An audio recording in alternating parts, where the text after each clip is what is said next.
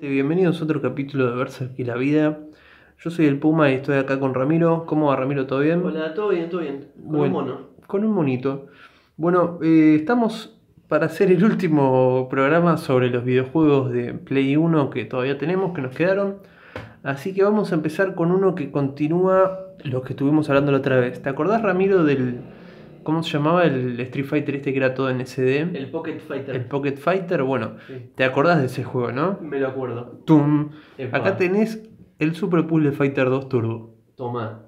Este en realidad salió antes que el Pocket Fighter, yo me enteré después. Y es un juego de puzzles, tipo el. Bubble Bobble, el Puzzle sí, Bobble. el tipo el. ¿Cómo se llama? Columns, creo que es el de, de Family. Sí. Es más parecido a ese. De juntar de colorcitos y, y sumar puntos y, y todas esas cosas. Pero muy bien hecho, muy bien hecho. Con los personajes de Street Fighter. eh, Sí, tenía Y- eso de que eh, muy interactivo. Vos mientras estabas armando los rompecabezas y las cositas, el personaje tiraba la Duke, en el Horyuken, las técnicas. claro, Todo bien ponja, se la pasaban hablando, gritando. Estaba bueno. A mí no me gusta mucho ese estilo de juego, pero eh, me copaba dentro de Sí, todo. aparte estaba bueno porque ibas destrabando cositas que eran retruchas, tipo. Cuando ganás te ponen. ¿Otro festejo? Te ponen tipo. Con Ken te ponen la manito de Ken haciendo la, la Mm. victoria. Con Chun-Li te ponían la pulsera con pinches, ¿viste? Como detallitos re boludos, pero que iban sumando. Sí, y te mantenían enganchado. Ahora viene un peso pesado de amado por muchos, odiado por otros, el Rival School. Sí, Muy heavy, este la verdad que lo banco mucho, o sea, me parece muy bueno. sí. Yo fui de los que lo bancó siempre, o sea, por ahí al principio me resultó un poco chocante el estilo de juego, pero después al toque me recopó. O sea, Sí, aparte tenía especiales combinados. eh, un montón de personajes, el estilo de dibujo muy copado, las caras, todo como Sí. estaban hechos. Sí, sí. La música también, hubieron un montonazo de peleas, eh, hicimos un millón de peleas. Vos usabas siempre, ¿a dónde está? A este chabón. sí, el de eh, espada. ¿Cómo se llamaba? Ahora Ayato. Ayato. Y yo usaba este chabón. Eh, y muy buenas peleas. así. Muy buenas peleas. Y fíjate que este trae dos CDs. Si lo puedo abrir, ahí está. El CD 1 y el CD 2. Tiene la versión Ponja. Y creo que es tipo la, el arcade. Sí. Tipo, tipo creo que es la Ponja la original y el otro que es tipo arcade nada más. Y la, y la que es completa viene con minijuegos, con extras, con Sí, es como crear un personaje, cosas así, que al Sí, final un quilombo. Pero bocha de, de opciones. Completísimo. Me acuerdo que cuando íbamos a la casa un compañero que lo tenía este, jugábamos al, al Al los fútbol, penales, los sí, los penales. Muy copado, la verdad que el Rival School, una saga que nunca pudimos jugarle al, al último que salió, creo que Sí. para Drinkas. pero bueno, tuvo piola. Sí. sí, El Spider-Man 2, sí. a mí me gustaba mucho más el 1. Mm, Acá está el 1. ¿Lo puedo hacer? Sí, sacalo. Acá está el 1. ¿Se ve? Sí, el 1, el 2 dos. no puedo hablar mucho, la verdad que no, no me copó tanto. Pero el 1 me pareció muy sublime. Era muy bueno. te transmitía bastante eso de poder tirar la telaraña, trepar por los edificios. Y por un montón de años fue el juego de Spider-Man. Viste que hubo un millón de juegos. Sí, y este este fue como el más logrado de todos. Y después como que lo empezaron a copiar. Sí, insuperable. Tenía un millón de trucos, de podías encontrar cómics escondidos en los niveles, Sí. un millón de cosas. La verdad que distintos trajes de Spider-Man, las Sí. portadas de los cómics, muy mega genial. Muy bueno. Y el, el enemigo final era Carnage fusionado con el Doctor Octopus. Sí, muy, muy Se copado. la inventaron para el juego y quedó muy piola. El siguiente es uno que Sí. A mí me copó mucho porque en la época que tenía la Play 1 ni a palo tenía un Game Boy o cosas así y como yo quería jugarle al juego de Pokémon, eh, esta era la única opción. Sí. Si bien no era lo mismo, Sí. era un RPG donde te metías, le pegamos sticker, donde te metías en un laberinto y tenías que pelear contra Digimones, tenías grupos de 3 contra 3, pero la música muy copada, tenías todos, estos no parecían ni a palo, eran todos personajes inventados Sí. para el juego. Y la verdad que a mí me copó mucho, o sea, le jugué estaba muy bien. y además teníamos la guía de la revista Club Play o Club PlayStation que te decía cómo pasarlo. Y como estaba en inglés, eh, la verdad que fue muy necesaria, muy vital y le llegamos recontra lejos. Sí. La verdad que me, me copó mucho. Aparte tenía eso de que era, las evoluciones eran recontra impredecibles. Sí. No era como en la serie que este evoluciona a este, después a este y después a este. Muy heavy. Era- lo que dé. Y hablando de Digimon, ahí viene este, el Rumble Arena, que era una especie del Super Smash Bros., pero con Digimon. Impecable este, ¿eh? La. Sí, una copia muy bien hecha, o sea, muy entretenido. La verdad que muy buenas peleitas hicimos. Sí, para los cumpleaños y esas cosas, ideal. ideal. Muy bueno. Además entendía. Después salieron versiones para Play 2 que a mí me parecieron infumables. Mm, Acá está este, el Bemon, este. Sí, lo Bemon. bancaba bastante. Se rompió también el palito. sí. Pero la verdad que este Sí, es muy piola, muy piola. Me, me transmite muy buenas, muy buenos recuerdos. Estoy dejando lo mejor para el final. Eh, el de los campeones. Habían Sí. dos de los campeones para Play 1. Este es el segundo. Uno que era súper de fútbol, más o menos. Fue como que lo tenía todo el mundo, pero era como que tampoco era la gran cosa. Sí, era un juego normal, pero cuando llegabas al arco tirabas un podercito. Y este era medio jodido. Este era un RPG de, creo que de cartas o algo así. Sí, como que en vez de estar los personajes, habían como unos cuadraditos con la cara de los personajes. Mucha gente lo decepcionó porque mucha gente quería que sean como el de Family. Sí. que fue como el mejor. Y cuando salió este, todo el mundo dijo: Mirá, se parece más al de Family. Y sí, al lado del otro de los campeones se parece más. Pero sigue siendo un- una cagada al lado del, otro. Sí. Cagó muriendo. Eh, igual, menos mal que no era un juego tan bueno. Pero mm, lo que digo que tenía un par de Mira. temas que estaban buenos. Campeones 2. Campeones 2. Mm, mm. Super verde. Encima me vino en esta caja y no me vino con nada en el costado. Le tuve que recortar yo un papelito y dibujarle el logo, que ahora se borró todo. ahí está, sí. Eh, la piratería, pero al mil por ciento en este momento. Qué cagada. Sí. ¿Qué más tenemos? A ver. eh, bueno, este Ah, juego. juegos de carreras. De carrera hasta ahora no habíamos tocado nada Sí. y es el único creo que tenemos. Sí. Mm, Need Bien. for Speed 4. El Destruction Derby y el Test Drive 5. 5 juegos de test drive. El Need for Speed para mí era el mejor. Sí. El Destruction Derby es un juego que hasta el día de hoy siempre dije tiene muchas posibilidades, pero es re difícil. Sí. Porque vas andando en carreras o si no directamente en ese arenero en donde se tienen que hacer pelota a puros choques. Y la verdad que es re difícil, es un quilombo. La otra vez lo, lo bajé para la Vita, de hecho, porque dije, no, este por ahí de chico no lo aprecié tanto. Claro. Y es, te hacen mierda y, y no, no te dejan vivir. O sea, es muy, Claro. muy dificultad hard. O sea, tratás de decir, capaz que es como, no sé, ir chocando a los demás. Debe ser re divertido una carrera en donde chocas a los demás y vuelan los pedazos. No, no, es una carrera donde arrancás, te hacen mierda todos al mismo Sí. tiempo y, y no hay chance. Además es muy difícil de manejar. Está como el, el piso todo el tiempo de hielo y te hincha los huevos. O sea, me pareció muy jodido. Y el Test Drive 5 no me lo acuerdo, pero porque le jugaba nada más al Need for Speed. Sí. Pero como nunca fui tan fan de los juegos de auto, me lo regaló Martínez este hace mucho. No me acuerdo si era el Test Drive o el Need for Speed, que antes de cada carrera tenías que elegir un millón de cosas. Tipo la marca, el auto, el Sí. color del auto, el no sé qué cosa, no sé cuánto, no sé cuánto. Y no jugabas nunca. Claro. pero quiero jugar, es un juego esto. Che, se viene material muy pesado. O sea, Sí. estaba. Bueno, vamos con este. Vamos con el clásico de los clásicos. Metal Slug.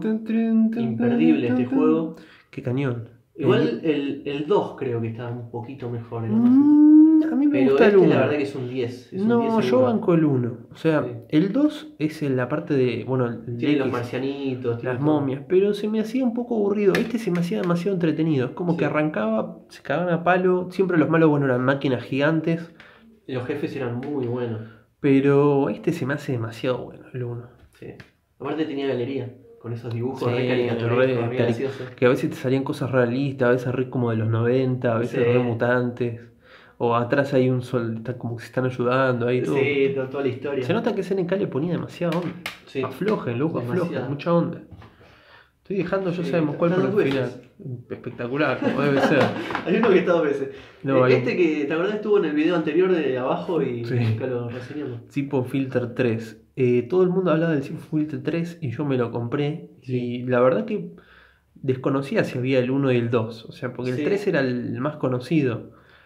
Y la verdad muy bueno, ¿no? Sí, estuvo bueno. Había mucha gente que se reenganchaba, sobre todo en la época de la escuela, que decían, sí, le llegué re lejos. Yo, por ejemplo, esta parte nunca la llegué. O sea, Claro. yo no lo avancé mucho, pero se me hacía que era bueno, pero tenías que estar muy emoción. En el primer nivel tenías que disparar a un piso de enfrente y, y era un quilombo. Sí. Ah, mira, hay otro. ¿Qué es esto? Mortal, Kombat. 4 y Mortal Kombat 3. O sea que el tipo filter se El en- Filter está en algún lado. Igual no creo que lo vuelva a jugar nunca más. Por ahí lo baje para la vida. Pero para bueno, si- para jugar de a dos era muy bueno. Para jugar de a Ah, uno sí, más o sí, menos. sí, estaba piola. Estaba bueno. sí. Ujú, bueno, El 1. el Digimon World 1, donde los Digimones cagaban, tenían Sí. ganas de ir al baño cada tanto. ¿Por qué ese detalle? La parte de atrás Uh, es de Crash. Crash Team Racing. Pero bueno, de este muchos recuerdos no tengo. Me acuerdo del opening, que había un pibe corriendo en una plaza. Ah, Pero mucha bola no le di. O sea, fue el primero que lo vi, después me enganché con el otro y ahí quedó. Sí, era complicado. Bueno, acá vienen dos juegos que tienen algo en común para mí. Sí. Blade y la momia. Como que está mal puesta la, la cosita. ¿Quién fue el sádico que lo puso al revés? Blade y la momia. Para mí lo que tienen en común es que se juegan parecidos y son recontra difíciles los dos. Sí. Sobre todo el de Blade, era recontra ¿Y difícil. sabés lo que pasa también? Ah, Nos lo regaló la misma persona. Ah, sí, Emi, un saludo. Sí, la verdad que está bueno porque como que regalaba siempre cosas parecidas, es como que su estilo era así, era como, como que- que vio una película y dijo, che, les voy a regalar el juego de la película. Sí, además te, te va a costar un huevo pasarlo. Sí, eran re difíciles. Lo que sí me acuerdo que el de la momia, eh, descubrí un truco como para balas infinitas y cosas así, ¿viste? Sí. Y ahí se volvió bastante divertido. En cambio, Blade nunca hubo truco de nada y costaba un huevazo Era todo. demasiado difícil, sí. Muy hardcore. Este a mí me Ah, copaba. este. Sí, sí. Road Rush 3D. Eh, vas en una moto y tenés que darle cadenazos, palazos a los de al lado. Salen volando si se chocan un auto, Sí. se cagan a palo. O sea, eh, muy, muy bueno. Tenía música de heavy, pero se escuchaba muy bajito la música, así que nunca reconocí ninguna banda. Pero a mí me copaba mucho. Podías ir haciendo que la moto sea más rápida, no Sí. sé, que los golpes saquen más. O comprar otra moto más. Sí, la verdad que este estaba para Sega, Pablo Elu lo tenía. Sí. Y me re sorprendió que para Sega exista, porque se me hacía que eso del guardado, de que vas guardando, no sé, las mejoras que vas haciendo, era un juego largo. Y para Sega también, para Sega Mm, Genesis, Mucho contenido tenía.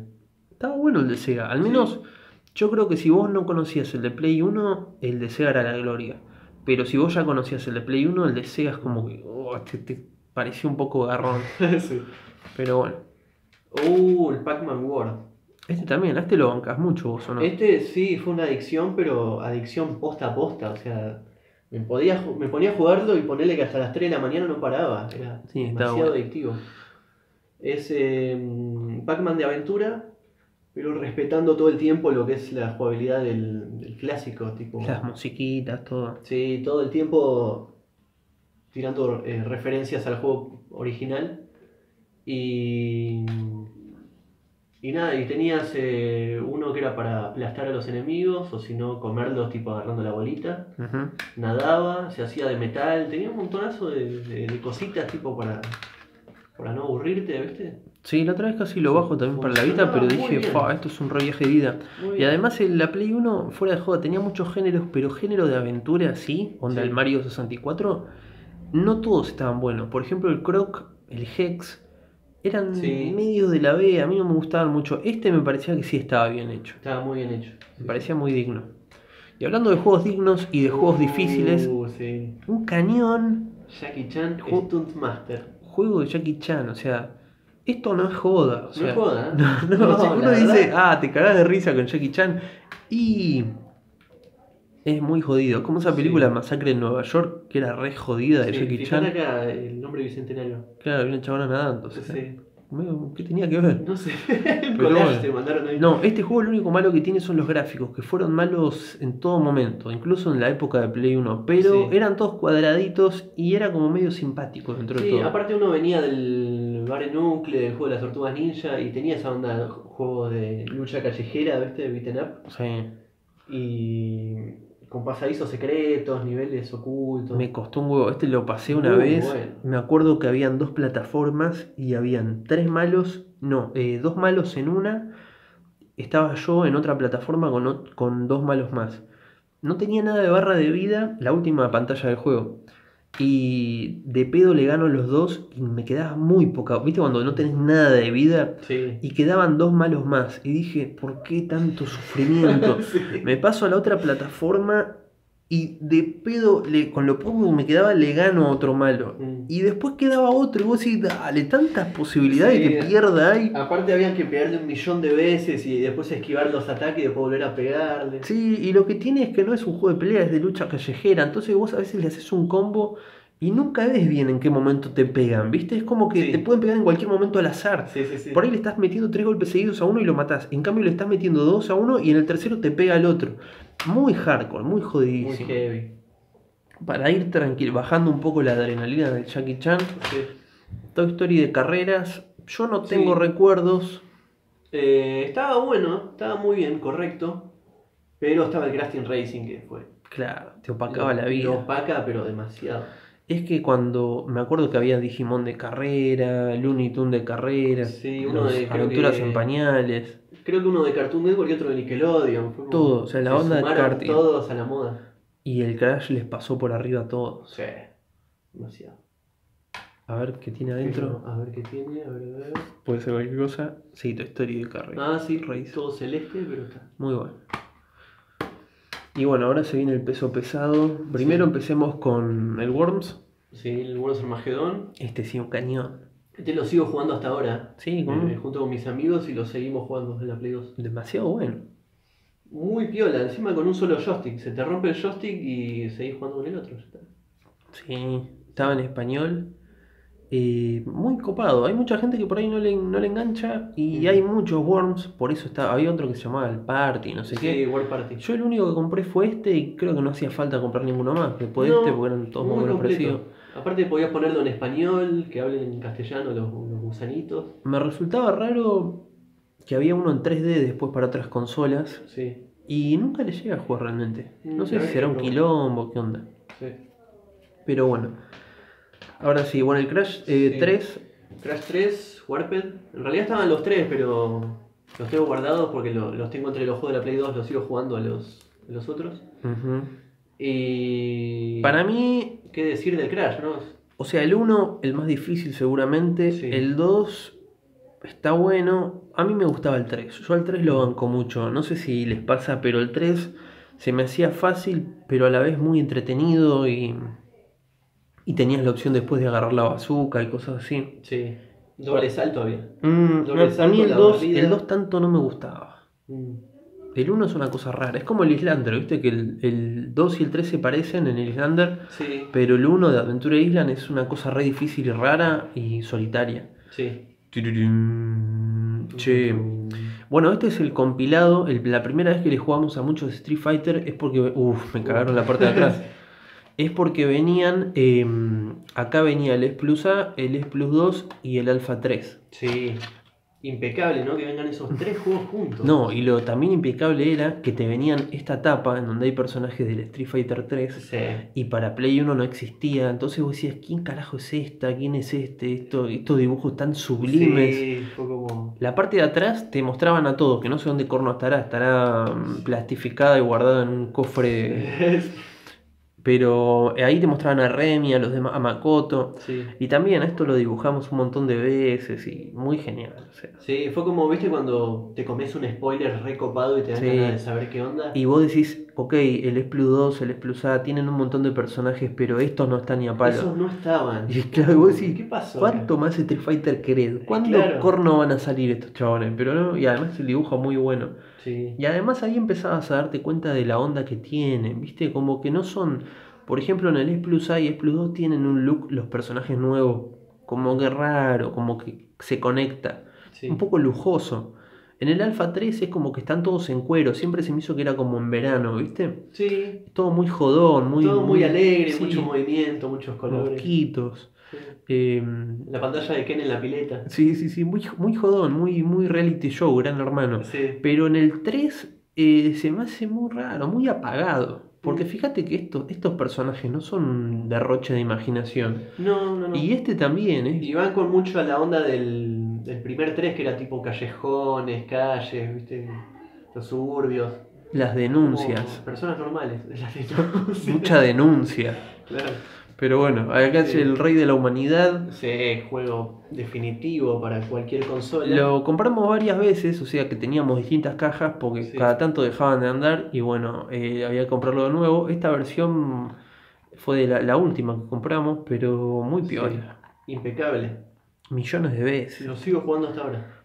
Lo sigue jugando hasta ahora. Sí. O sea, fuertes Lo declaraciones. estoy jugando en este momento. Ahora, ahora lo está jugando. no está el juego acá, lo estamos jugando en el mismo. ¡Ah! Que no se caiga. A ver, ahí está. Eh, a mí me pasa que el Crash tiene un truco que es para sacar a un personaje que ahora no me acuerdo.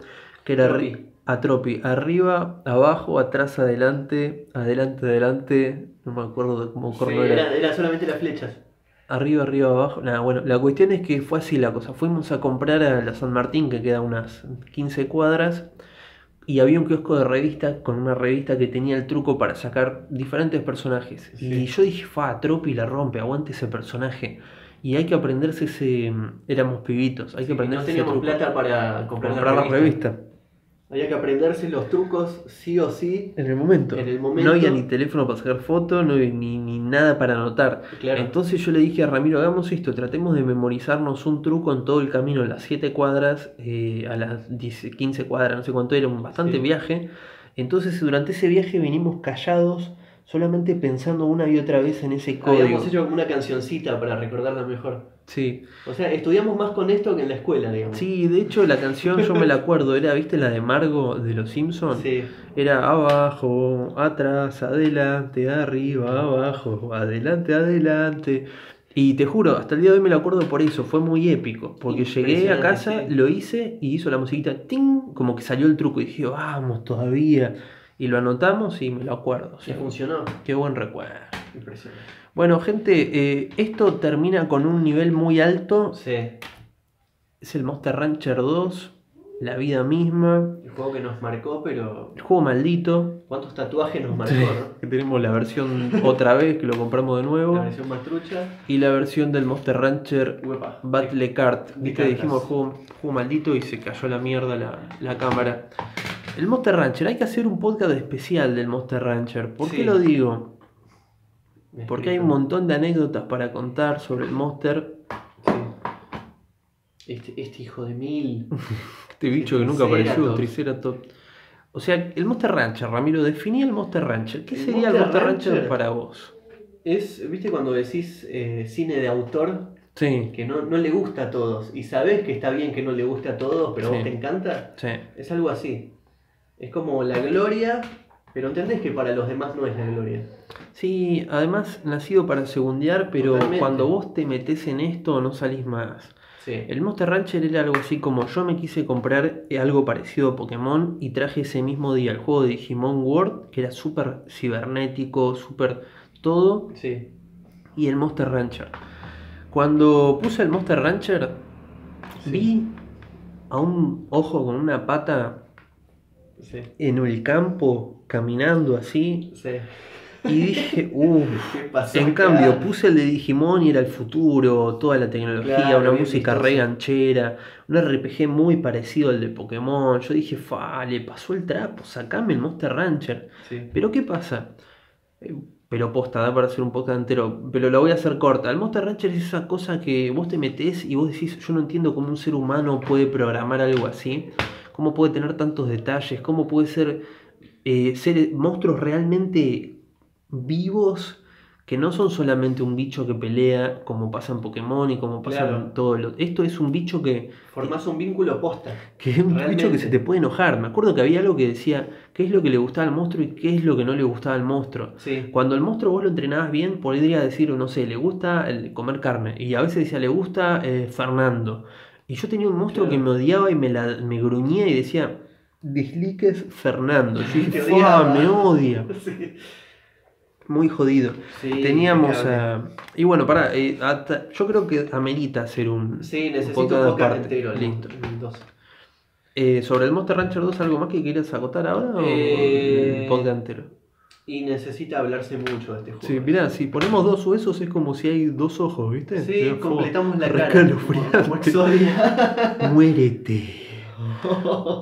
Eh, bueno, y el Monster Rancher Battle Car también, es la galaxia prendida a Sí, fuego. pero este ya de entrada era un buen juego, ¿no? No había ningún trámite. No, el Monster Rancher Battle Car yo ahora lo tengo, lo bajé en, en el teléfono y en un emulador medio chorongo del teléfono. Y está re bueno, es re fácil, o sea que lo podés de- pasar, pero es entretenido. Tiene eso de que lo podés pasar. Yo lo pasé lo, varias veces. Lo aprendes enseguida, por, por más que seas chico y no entiendas inglés, vas jugando y lo, te aprendes enseguida.